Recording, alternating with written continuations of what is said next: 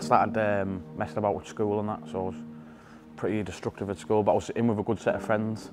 And then I met a different set, which were into crime, all the drugs and all that, and I ended up going with them. So yeah, that led to the life of petty crime, recreational drug use, daft little things, getting in trouble.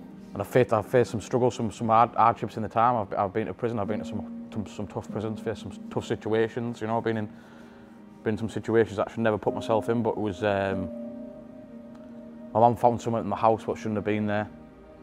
And it was basically like an intervention with my, her and my sister, just both in floods of tears.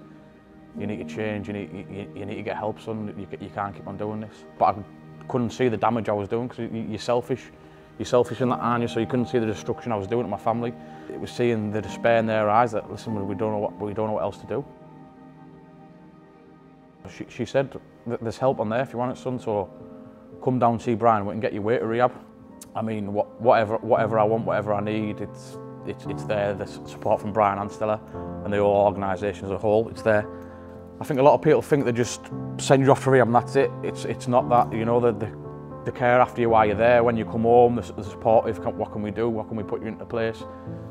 There's, there's a lot of support still ongoing that I appreciate to this day. Really, I know my calling's to help other people stuck in addiction, stuck in that life. For the miracles I've seen, it'd be a shame for me not to try and help other people. So that, that, that, that's my aspirations, I believe. I've got, I've got inner peace that I've ne never felt before in my life, you know. Cer certain struggles come up and I just, I trust in God and I just realise that He's got my back. So yeah, I'm, I'm happy and I'm, I'm optimistic about what the, what the future's got on hold for me.